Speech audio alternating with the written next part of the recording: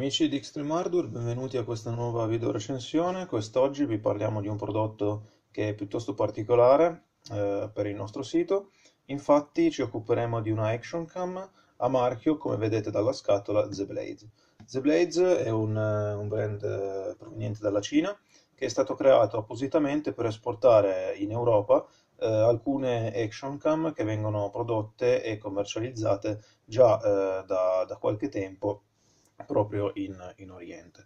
La scatola è piuttosto anonima, come vedete c'è soltanto il, il logo The Blades sul, sul frontale. Se giriamo la confezione troviamo alcune caratteristiche del prodotto, in particolare la resistenza all'acqua e alle immersioni. Questa Action Cam infatti è resistente sino a 60 metri di eh, profondità.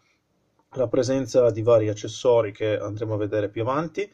Eh, un angolo di visuale piuttosto elevato, si parla infatti di 170 gradi, anche se al lato pratico eh, l'angolo di visuale è leggermente inferiore.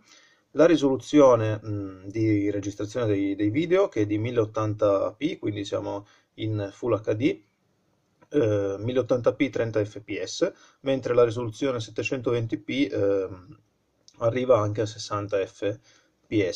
Dopodiché ci sono alcune tecnologie come la Pure Video che permette di avere un'immagine eh, più, più, nitida.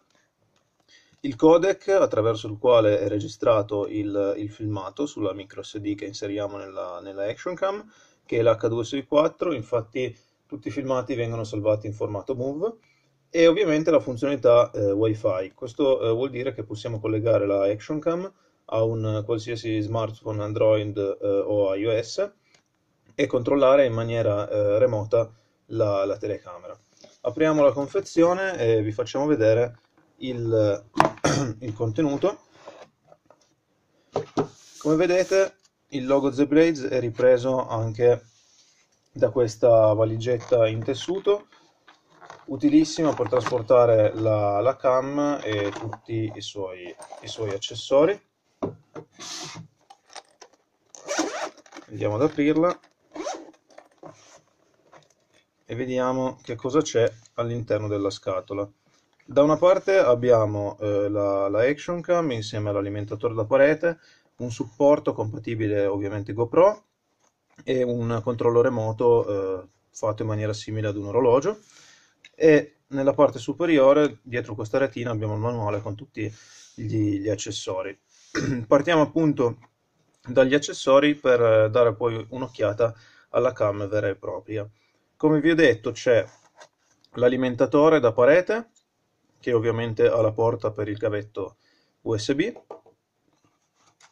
abbiamo un supporto che è compatibile con eh, tutti gli accessori GoPro. Abbiamo questa sorta di orologio che in realtà è un comando remoto che funziona a 2,4 GHz e ci permette di avviare la registrazione o fermarla, ci permette anche di scattare delle, delle fotografie. Nella parte superiore troviamo come al solito il, il manuale di istruzioni che è scritto in, in inglese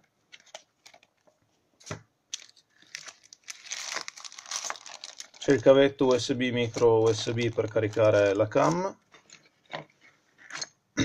c'è un supporto mm, per attaccare eh, la, la, cam al, al, manubrio di una bicicletta, di una moto o a qualsiasi altro oggetto di sezione approssimativamente cilindrica. Vedete, possiamo svitare queste viti di, eh, di, regolazione in modo da aumentare il, il diametro. Ovviamente possiamo combinare poi eh, questo, questo, attacco con tutta un'altra serie di eh, accessori, anche quelli GoPro per esempio, in modo da modificare eh, l'angolazione.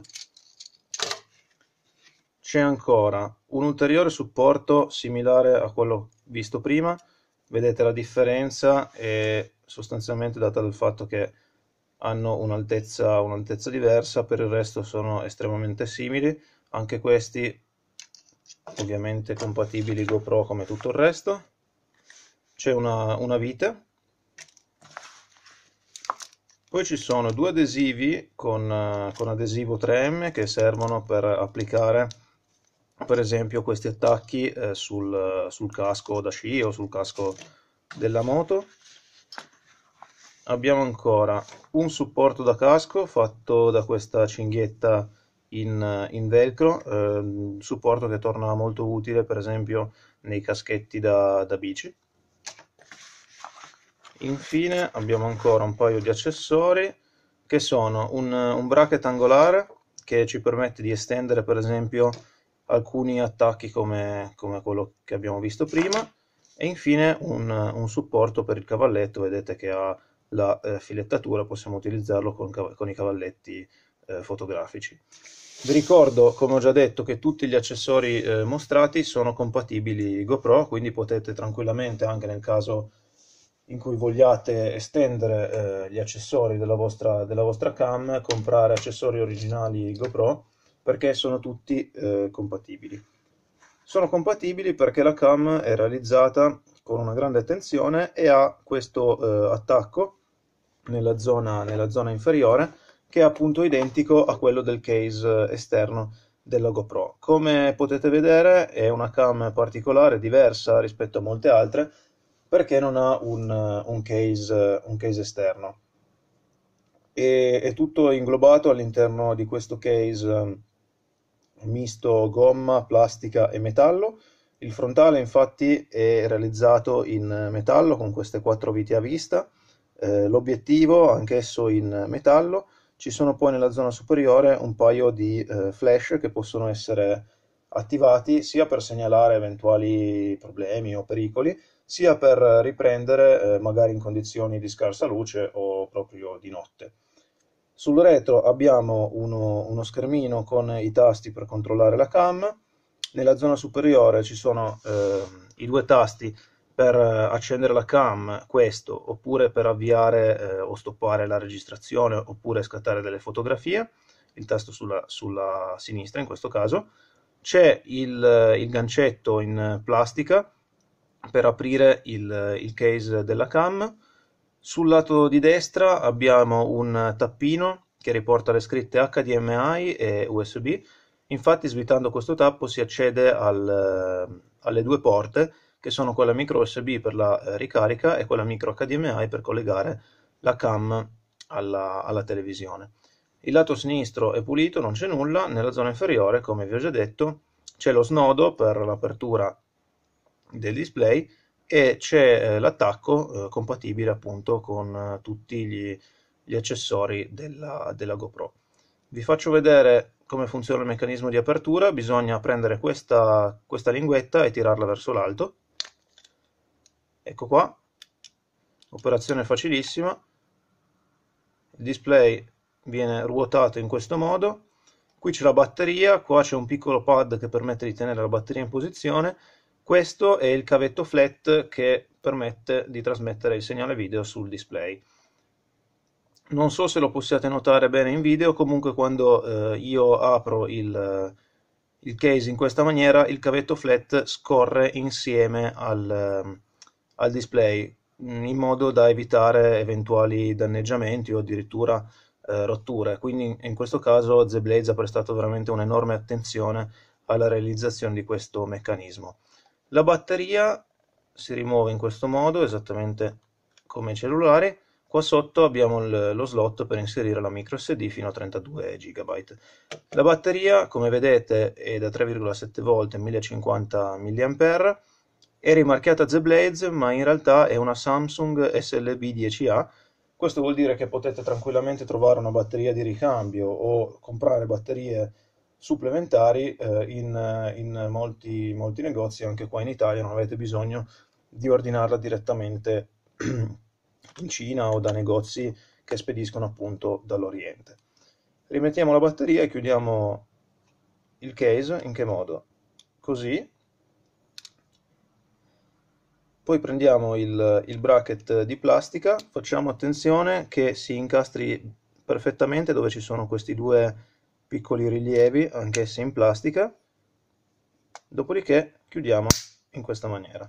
La cam è perfettamente chiusa, estremamente solida, A detta del produttore è impermeabile già così a 60 metri, anche grazie all'o-ring che è applicato in corrispondenza del tappo, cioè un, una piccola guarnizione di gomma che impedisce alla, all'acqua di entrare. In ogni caso, se fate eh, immersioni a profondità appunto elevate, vi consiglio comunque di utilizzare del grasso che è idrorepellente, idrofobico, quindi ehm, non permette all'acqua di entrare magari spalmate un pochino di grasso intorno all'o-ring del tappino e un pochino di grasso intorno alla guarnizione che eh, mantiene eh, la chiusura stagna del, del case della, della, della, fotocamera.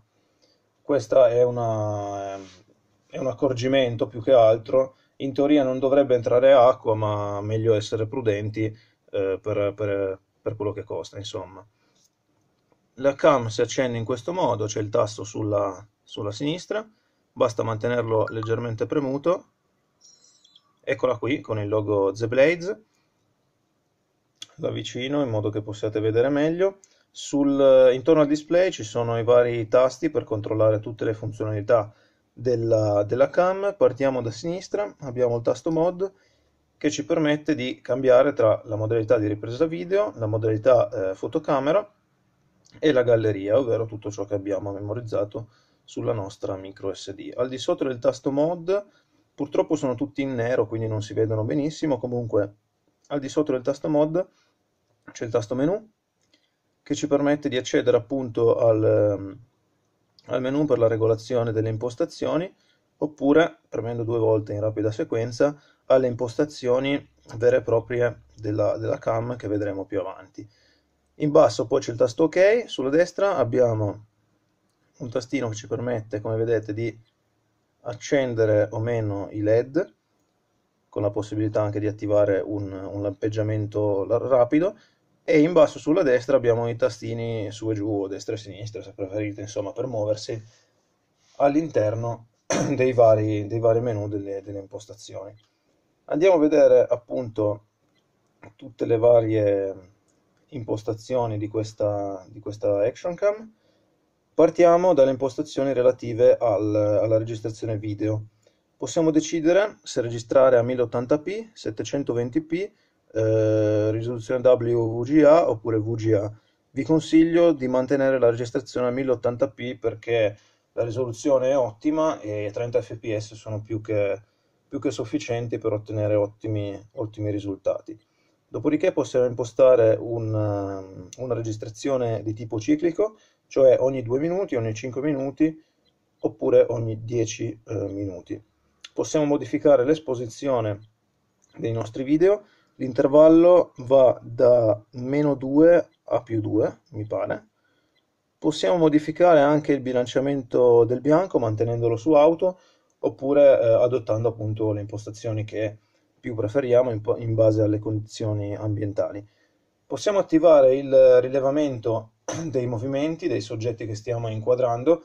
Questa è una caratteristica che in realtà secondo me non è eh, indispensabile, l'ho sempre mantenuta disattivata poiché non si nota grossa differenza nell'attivarla o meno. Possiamo infine decidere se attivare oppure no la registrazione del, dell'audio. Passiamo al comparto fotografico e vi facciamo vedere anche in questo caso quelle che sono le impostazioni personalizzate abbiamo la possibilità di ehm, decidere se impostare un timer o meno per un eventuale autoscatto, possiamo impostarlo su foto singola, cioè foto immediata, eh, timer a 3 secondi, timer a 10 secondi oppure a 30 secondi. Possiamo stabilire la dimensione delle nostre fotografie, in particolare 12 megapixel, 8 megapixel o 5 megapixel. Vi ricordo che i valori più elevati, in questo caso 12 e 8, sono realizzati tramite un'interpolazione a livello software, dunque non sono eh, megapixel eh, reali, effettivi. Possiamo decidere anche di eh, impostare eh, la modalità continuato, che significa la possibilità di eh, avere vari scatti in rapida sequenza, tipicamente 3-4 scatti in rapida sequenza uno dopo l'altro, in modo da scegliere poi eh, al termine, tramite, tramite PC ovviamente, il migliore. Possiamo decidere la qualità del, dell'immagine, ovvero qualità eh, in questo caso la traduzione italiana non è, è piuttosto approssimativa, qualità forte, cioè qualità eh, ottimale, qualità normale oppure qualità economica, cioè eh, risparmio sostanzialmente di memoria sulla nostra schedina SD. Possiamo impostare anche in questo caso la nitidezza dell'immagine, eh, come abbiamo già visto eh, per quanto riguarda il, le riprese video, possiamo regolare anche il bilanciamento del bianco, la temperatura del colore tramite colore bianco-nero oppure effetto seppia, possiamo modificare l'ISO mm, del, dell'immagine eh, tra i valori automatici, poi abbiamo anche 100, 200 o 400. Possiamo modificare anche in questo caso l'esposizione tra meno 2 e più 2 e infine possiamo attivare la visualizzazione rapida, cioè dopo aver scattato la foto ci viene mostrata la foto che abbiamo appunto scattato per qualche secondo in modo da permetterci eh, già di valutare se cancellarla oppure eh, tenerla nella nostra memoria micro SD. Per quanto riguarda invece le impostazioni vere e proprie della cam, ne abbiamo davvero parecchie, ben 5 pagine di impostazioni. Ci sono quelle relative al wifi, come vi ho detto appunto possiamo collegare, e vi spiegherò dopo come funziona, la, eh, cam al, ad, un, ad, un, cellulare eh, in modo da utilizzarla in, in remoto. Possiamo settare eh, sia eh, il nome della rete wifi che la password Possiamo impostare la rotazione dell'immagine, sostanzialmente l'immagine mostrata sul display viene ruotata di 180 eh, gradi, è utile nel caso in cui si appenda appunto al, al contrario, in questo modo, la cam. Possiamo eh, attivare o meno la stabilizzazione dei video, anche in questo caso come per il motion detection non è una funzionalità indispensabile, nel senso che attivata o meno non si nota grossa differenza possiamo eh, decidere di attivare o no lo spegnimento automatico dell'LCD, ovvero del display, dopo 30 secondi o un minuto, o anche mantenere disattivato lo spegnimento automatico. Nel mio caso ho sempre tenuto lo spegnimento automatico del display a 30 secondi. Possiamo attivare o meno il, la funzionalità del telecomando, cioè di questo eh, piccolo, neanche piccolo in realtà, orologetto che ci permette di accoppiare appunto l'orologio con la cam eh, oppure di eh, tramite questo tasto avviare o fermare la registrazione. Abbiamo poi alcune altre voci, quelle relative all'impostazione della data e dell'ora, la stampa della data, sostanzialmente possiamo decidere se visualizzare o meno la data sul video, spegnimento automatico del, della action cam dopo un determinato periodo di tempo, possiamo modificare la lingua dei vari sottomenu. Possiamo modificare la modalità eh, del video della televisione, alla quale possiamo collegare la cam tramite il cavetto che vi ho fatto vedere qui, eh, micro HDMI, quindi NTSC oppure eh, la modalità PAL. Ora sono uscito, torniamo indietro. Eccolo qua, possiamo ancora abilitare o meno il TV out nel caso appunto in cui eh, avessimo collegato la cam tramite cavo micro HDMI possiamo modificare la frequenza eh, del display su 50 Hz o 60 Hz in base alla frequenza del nostro impianto eh, di, di, corrente elettrica in modo da non avere, mm, nel caso in cui avessimo delle lampadine accese, uno sfarfallio del, dello schermo. Possiamo formattare la micro SD, ripristinare le impostazioni predefinite e vedere la versione del, del firmware installata. Vi segnalo che questa versione del firmware non ha, tra le, le caratteristiche incluse, la possibilità di eh, effettuare un loop sostanzialmente infinito di fotografie, caratteristica che eh, viene utile nel caso in cui si vogliano effettuare dei, dei timelapse particolarmente lunghi. Eh, con altre action cam possiamo eh, impostare appunto una, un ciclo di fotografie scattate ognuna ogni tot secondi eh, sinché non fermiamo noi la fotocamera questa, questa Z-Blades non ha la, ancora la possibilità di eseguire appunto un loop sostanzialmente infinito di fotografie. Ho chiesto direttamente al, al produttore, mi hanno detto che cercheranno di eh, inserire questa, questa funzionalità nei, con i prossimi aggiornamenti del, del firmware. Tra le caratteristiche più interessanti appunto di questa cam abbiamo il wifi, vi faccio vedere allora come funziona. Andiamo sul menu, clicchiamo ok sul wifi in questo caso il wifi risulta attivato.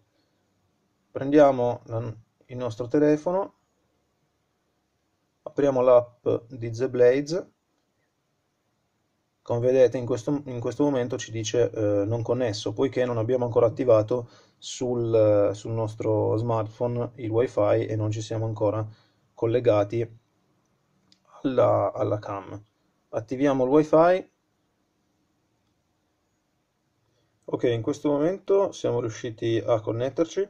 Come vedete il nostro wifi dal telefono segnala che siamo connessi alla ZBlaze Cam e anche la ZBlaze dice wifi eh, connected e ci dà anche il MAC address del dispositivo. Se utilizziamo però l'applicazione della ZBlaze è possibile che questa non funzioni. Perché? Perché, eh, e questo è un, è un, difetto, è un bug che va segnalato, l'applicazione della ZBlaze non funziona benissimo con la versione più aggiornata di Android, in particolare questo è un Nexus 4, quindi monta Android 5.0.1. Abbiamo potuto eh, utilizzare la cam con altri telefoni e con le versioni più vecchie di Android l'applicazione funziona abbastanza bene, nonostante sia disegnata in modo decisamente rudimentale. Insomma, l'interfaccia grafica eh, non è fatta benissimo, sicuramente potrebbe essere curata meglio, insomma. Comunque, eh, giusto per farvi capire come funziona l'applicazione, al posto di questo messaggio logicamente dovrebbe uscire quello che la, eh, la, la telecamera riprende, eh, anche se l'intervallo di aggiornamento di quello che è il video mostrato dalla telecamera non è immediato. Se io per esempio muovo in, questo, in questa maniera la telecamera, eh, il video eh, trasmesso sullo smartphone ritarda di almeno 2-3 secondi ad arrivare. Ehm, come vi ho detto l'applicazione non è disegnata benissimo, possiamo comunque eh, switchare tra la modalità di registrazione video e la modalità foto, possiamo aprire la, la galleria di, eh, scegliendo appunto tra, tra, tra foto e video. Possiamo poi andare sulle impostazioni che in questo momento ci sono precluse perché l'applicazione non riconosce la cam che è collegata, eh, impostazioni che sostanzialmente ci permettono di decidere quella che è la risoluzione di registrazione video e eh, la risoluzione delle fotografie. L'applicazione non è fatta benissimo, diciamo che mh, mm, è uno dei punti deboli di questa, di questa cam, andrebbe migliorata. In ogni caso ci sono molte altre alternative sul, sul Play Store, sebbene non a marchio The Blades, che comunque dovrebbero essere compatibili. Bene, vi abbiamo fatto vedere eh, più o meno tutto quello che riguarda questa, questa cam. Nel complesso stiamo parlando di una cam ottima, il prezzo di listino proposto dal produttore è di circa 115 dollari, eh, la cam viene importata direttamente dalla Cina. Nel momento in cui dobbiate acquistare una Action Cam ex novo, questa potrebbe essere sicuramente un'ottima scelta. Logicamente è bene conoscerne pregi e difetti. Diciamo che se dovete ordinarla eh, direttamente eh, dalla Cina, forse non è la scelta migliore, nel senso che eh, siccome costa appunto circa 115 dollari, eh, gli shop cinesi la vendono intorno ai, ai 90 euro, non sarebbe il massimo comprarla perché eh, in Italia comunque si trovano action cam abbastanza simili, penso alla SJ4000 della Kumox venduta da Mason, che costano un centinaio di euro, però vengono appunto spedite dall'Italia con garanzia e, e tutto quanto, mentre questa verrebbe spedita dalla Cina è necessario attendere parecchio tempo e se siete anche sfortunati è necessario eh, pagare eh, le tasse della, della, dogana. Nel momento in cui invece eh, riusciste a trovarla con spedizioni dall'Europa ad un prezzo inferiore ai, ai, 100 euro, appunto, sarebbe una scelta davvero eccellente per via eh, delle ottime caratteristiche offerte, della qualità della registrazione e eh, di tutti gli accessori e i, e, i vari, e i, vari, plus rispetto ai concorrenti che sono inclusi nella confezione. Per questa video recensione è tutto, nel caso in cui abbiate ulteriori dubbi e domande vi invito a porli all'interno dei commenti in fondo alla recensione oppure direttamente sul nostro forum.